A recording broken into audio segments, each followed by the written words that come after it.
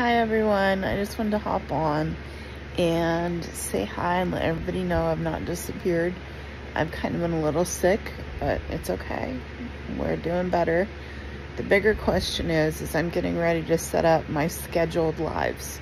So this will be times to where I sit down and I paint and answer questions and maybe do commission pieces, maybe take requests.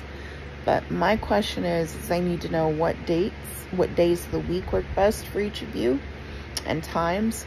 And we're going to take those and we're going to condense those down. And then I'll be releasing a schedule for everybody.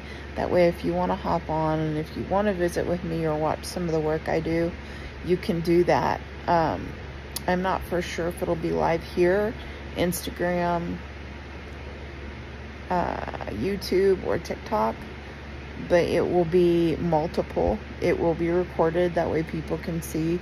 But again, I'm just more or less looking for the interaction between you and I and getting to know everybody, and then you guys can watch the process while I paint and we can visit.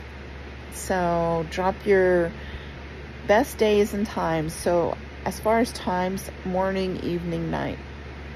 If I'm being honest with you, I'm more of an evening midday, evening, night owl painter.